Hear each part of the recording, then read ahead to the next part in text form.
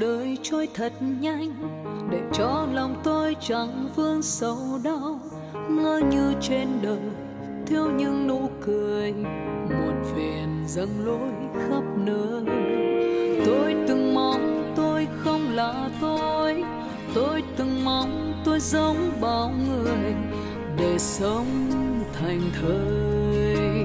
Sống như tôi vẫn mơ, và rồi tôi nhận ra trong trái tim này là tình yêu vô bờ và đầy ắp ước mơ.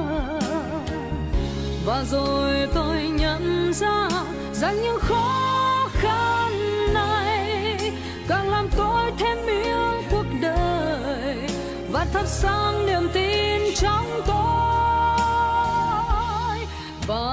sống như đóa hoa này tỏa ngát hương thơm cho